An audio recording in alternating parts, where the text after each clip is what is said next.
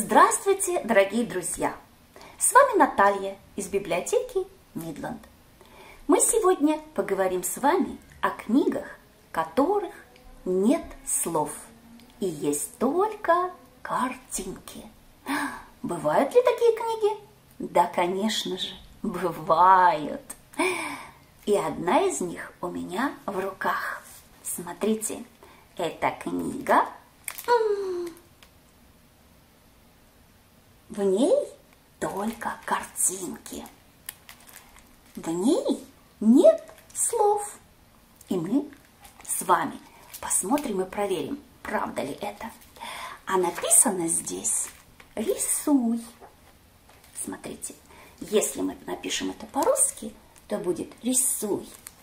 Смотрите, мы просто можем себе представить, что у нас есть, например, солнышко, например, цветочек, а, или домик маленький, а, и сочинить историю про то, что мы видим на картинке. И тут травка у меня. И сочиним историю про то, что мы видим на картинке. Хм, вот так создаются книги, которые без слов, одни только картинки. И сейчас мы с вами посмотрим внимательно на книгу, которую написал Рауль Колон. Эта книга основана на его собственных детских впечатлениях. И здесь история про мальчика, которого зовут Леонардо, этот мальчик оказался в комнате один, и он решил отправиться в путешествие в Африку в своем воображении, то есть нарисовать, придумать картинки, нарисовать их и потом представить, что это реальная жизнь. Вот таким образом вы тоже можете делать со своими детьми. Можно спросить ребенка о том, хм, что же он видит на картинке, предложить ему рассказать историю, или самому рассказать историю, или часть истории рассказать самому и предложить ребенку продолжить эту историю. Вот таким образом вы можете использовать вот эти книги, которые без слов. А можно еще и придумать костюм. Я сегодня собралась на сафари читать эту книгу. Хм, так вот я сегодня еще и шляпу с собой прихватила, чтобы солнышко мне голову не напекло в Африке. Вот таким образом вы можете с ребенком читать, придумывать истории. Ну давайте же мы с вами посмотрим про Леонардо. Посмотрим на картинки в этой книге. Вот вы видите Леонардо? Он здесь представляет, что он взял мольберт и стал рисовать. А на книге, которая здесь внизу, написано «Африка». Значит, история будет про Африку. Но кто же живет в Африке? Хм, у меня тоже есть животные из Африки сегодня. Посмотрите, слон и есть жирафы.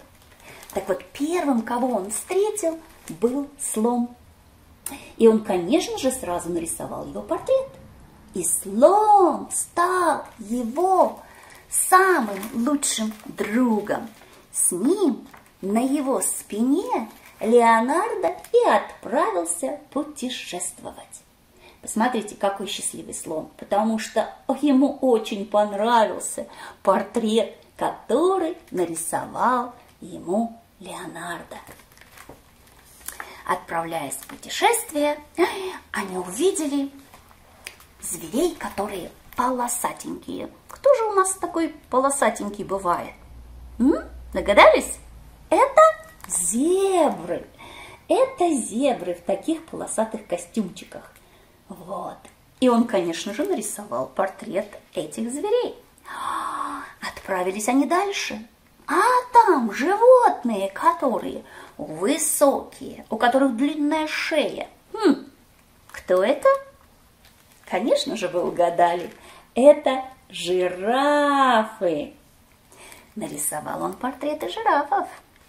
Вы можете посмотреть, какого цвета жирафы, какие у них пятнышки, разобрать это все, подумать, как, как, как же они интересно вписываются в ландшафт, ту природу, в которой они живут. Встретились они и со львом и львицей. И чтобы это было хм, безопасно, Леонардо сидел на дереве. Много разных зверей в Африке.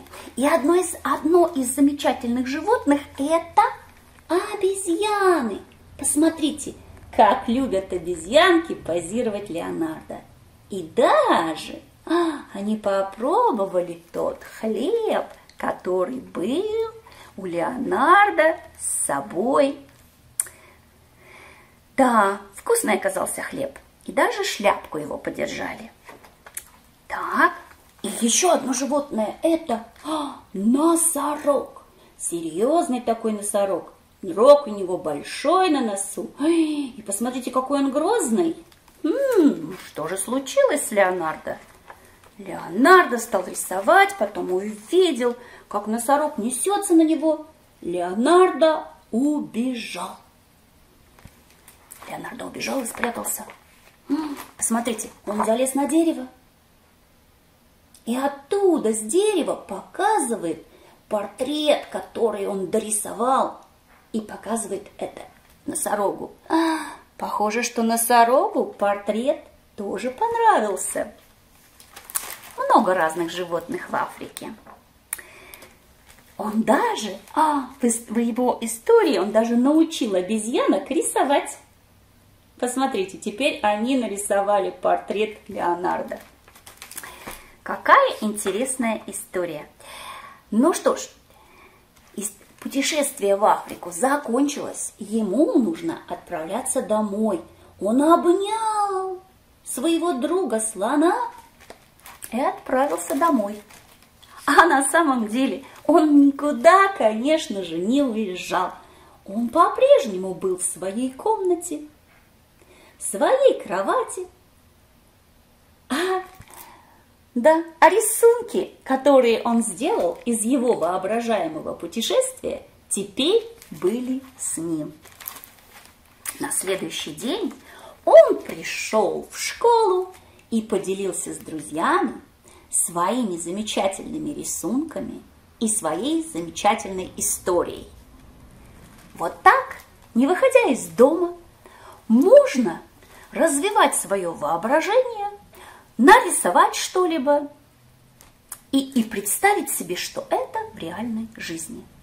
Таким образом, можно использовать несколько способов подготовки ребенка в школу. Можно говорить, обсуждать с ним вопросы, самые разные об этой истории, которую вы с ним сами сочиняете. Можно рисовать эту историю, можно написать несколько буквок, если ребенок маленький, и тот, кто постарше, может написать побольше. То есть придумать слова к той же самой истории, это тоже возможно. Можно даже спеть песенку о том, что сейчас происходит в вашей выдуманной истории. Так вы можете использовать разные способы, и они все помогут подготовить ребенка к школе.